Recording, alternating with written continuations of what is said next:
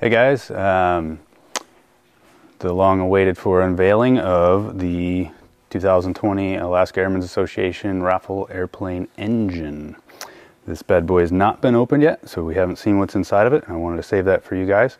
I also wanted to introduce a special guest today. This is my daughter Adia. Hi. We are practicing hangar homeschool at the same time we're trying to build a raffle plane. Um, so yeah, without further ado, you want to do the honors and crack this baby open? Sure. Nice.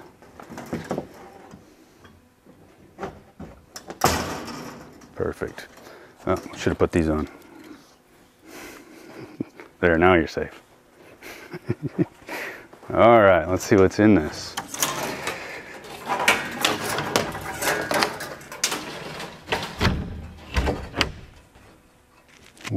Ooh.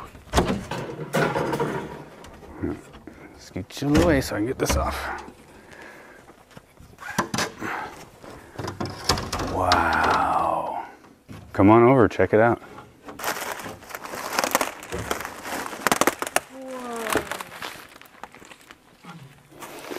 Oh, it smells good too.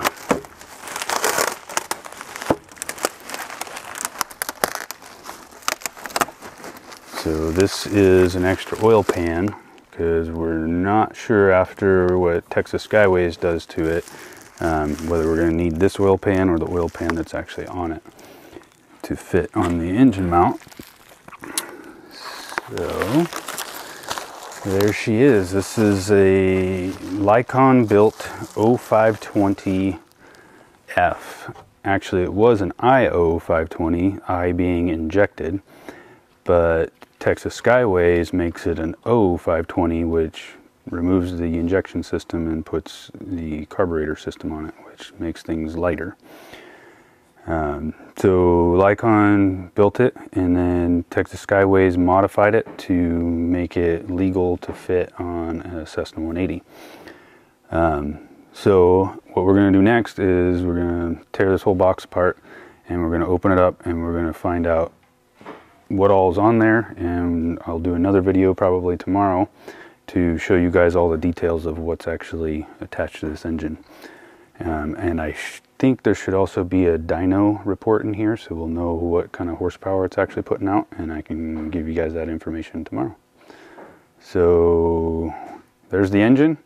Raffle plane behind me is coming together again or still and it's making great progress. As you can see, it's got the floppy things on it now, the wings and we are in the process of putting flaps and ailerons and running all the cables and the wires and getting the wings all finalized.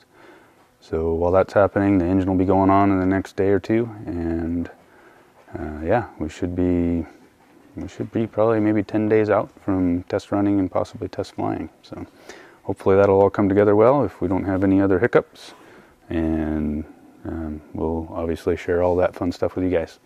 So until next time, stay safe.